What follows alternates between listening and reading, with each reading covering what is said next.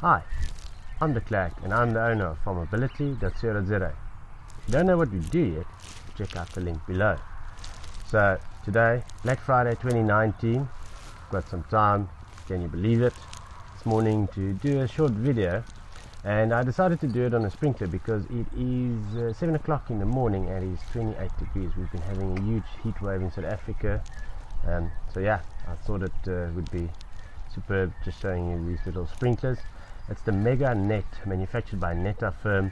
You get them in six different volumes from a 200 liter per hour to a 750 liter per hour and uh, you get two different angles. You get a 24 and a 15 degree the one I'm showing you today is a 750 liter 24 degree.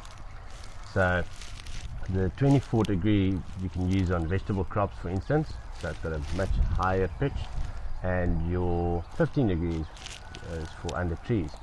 So you don't have to just use them on vegetables. Uh, you can use them on a lawn, works very well, and your flow rate is fantastic on them. So let me just quickly pop this open. That's how it looks on the inside. A small little sprinkler. I think it's really good priced for what you're getting. Um, your little filter, pop out, cool little thing. So there we go, and it just screws back. 15 millimeter half inch BSP. If you want to fit it on a tripod, you're going to need a 20 mil to 15 reducer nylon.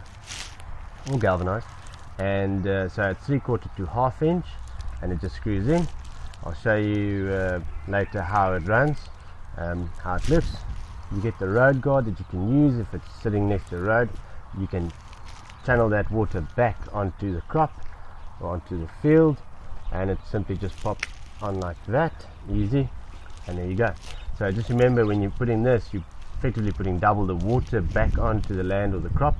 So you want to go um, half or 60% of the size that you're using on your 360 rotation.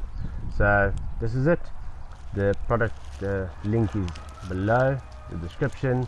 Um, subscribe to our channel like our videos share it. Um, yeah there's always a mate of yours that can use this even if you're staying in town uh, you someone always got a mate on the farm so that might be handy for them if you've got any questions comment below I'll show you how it runs in a second Hope you've got a lekker one on Black Friday.